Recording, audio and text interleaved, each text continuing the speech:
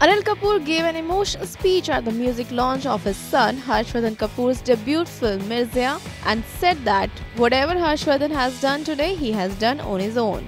He was also recalling his old days and said, My father came a few decades back to this Mumbai film industry and uh, he saw success, uh, he saw a lot of disappointments, but that gave me strength, me and my brother. So I want to thank my father, my mama, mother who's here, my brother, all both my brothers. And of course, I don't want to say much about myself. Uh, it's a very uh, joyous moment for me today. It's, it's, it's great pride that today uh, uh my son Harsh Vardhan Kapoor, uh, you know, is over here. All I can say is, beta, beta ho to aisa, magar, I, I just want to say, meri baat nahi sunta. he,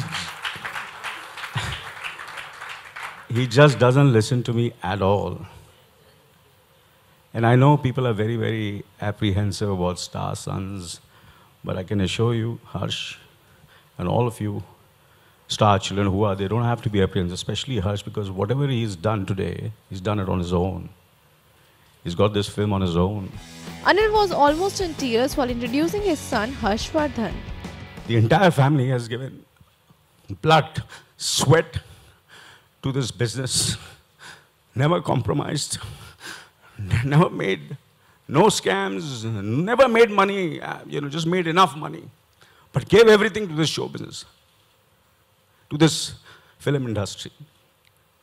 So, whatever love and affection you all have given me for so many years, I want you all to give it to my son.